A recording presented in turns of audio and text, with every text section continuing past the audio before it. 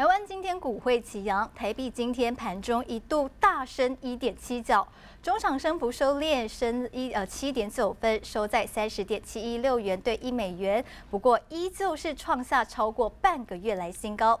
刚刚的专题就有先提到，台币走强主要是因为美元指数回弱，昨天晚上下跌百分之零点六九，收在九十三点九一，不仅贯破一百日移动平均线，而且盘中最低还创下十个礼拜来的低点。市场把原因就归在于贸易战紧张、情势淡化的关系，让资金不再一直往美国冲去避险，钱撤出来才让美元回弱。可是我们刚刚也有提醒，下礼拜美国联准会就要召开利率决议，大家一致认为 FED 将在升息一码。照理来说，利率调高上来，大家就会想把钱放到美国去，所以美元应该要在这个时候大涨才对。但是现在不升反跌，却让很多的外资机构还说这就是美元走贬的讯号。原因在哪？一方面是因为大家都知道，美国总统川普本身是一个商人，他向来不爱强势美元，早就喊话很多次，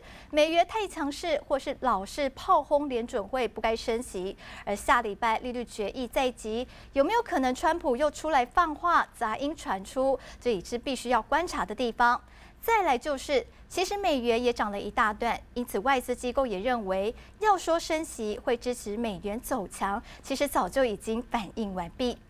而大家都不约而同的认为，升息不足以支撑美元，外资美银美林更是拿出数据点出说，现在做多美元的市场太过拥挤，多头的部位正接近了二零一七年初以来的最高，这为市场情绪反转奠定了基础。而法国的巴黎银行资产管理公司也更加的预测，在未来六到九个月内，美元将会大跌一成。美元出现杂音，在贸易战持续降温之际，资金有没有可能因此回流到亚洲市场，让台股在下个礼拜中秋节过后向上变盘的几率能够提高一些呢？都提供给您作为参考。